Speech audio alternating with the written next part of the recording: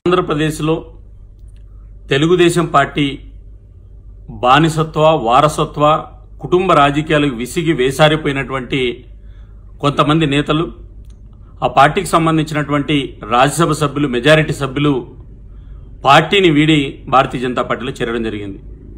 దీనికి సంబంధించిన విషయంలో దయాలు వేదాలు వల్లించినట్లు తెలుగుదేశం పార్టీకి సంబంధించిన నేతలు కొంతమంది ఆ పార్టీకి సంబంధించినటువంటి గతంలో ప్రజాస్వామ్య విలువలను కాలరాసినటువంటి ఎన్టీ రామారావు గారిని తన పార్టీ ఎమ్మెల్యేగా గెలిపించుకుని స్పీకర్ చేస్తే కనీసం శాసనసభలో ఎన్టీ రామారావు గారిని వెన్నుపోటు పొడిచిన తర్వాత ఆ రోజు జరిగినటువంటి తొంభై ఆరు తొంభై ఆరు పరిస్థితుల్లో కనీసం చివరిలో మాట్లాడేటువంటి అవకాశం ఇవ్వకుండా దుర్మార్గంగా వివరించినటువంటి ఒక అనైతిక స్పీకర్ వివరించినటువంటి యనుమల రామకృష్ణుడు గారు ఈరోజు చట్టసభల్లో నీతుల గురించి మాట్లాడుతున్నారు. నేను ఒకటి అడుగుతున్నా.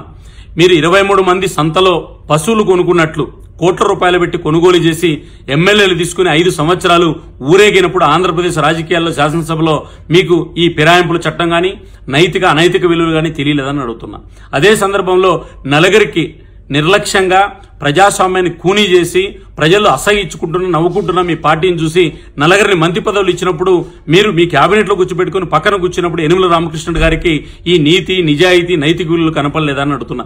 ఈ రోజు ఆంధ్రప్రదేశ్ రాజకీయాల్లో వీధి రౌడీలాగా కొంతమంది ఐదు సంవత్సరాలు ప్రజల మీద పడినటువంటి వాళ్ళు ఈరోజు ఆంధ్రప్రదేశ్ రాజకీయాల్లో వాళ్ళ పార్టీకి సంబంధించినటువంటి నాయకత్వం తిరుగుబాటుతోటి ప్రత్యున్మాయ రాజకీయ పార్టీగా ఈరోజు భారతీయ జనతా పార్టీలో చేరుతున్న సందర్భంలో ఓర్చుకోలేక ఒక దుష్ప్రచారాన్ని చేయడం జరుగుతుంది. ఒకవేళ భారతీయ జనతా పార్టీలో చేరినటువంటి ఒక వ్యక్తుల మీద మీరు చేస్తున్న ఆరోపణలు వాస్తవం అయితే వాళ్ళని రెండోసారి మూడోసారి రాజ్యసభకు ఎందుకు పంపారని చెప్పి నేను అడుగుతున్నా. కాబట్టి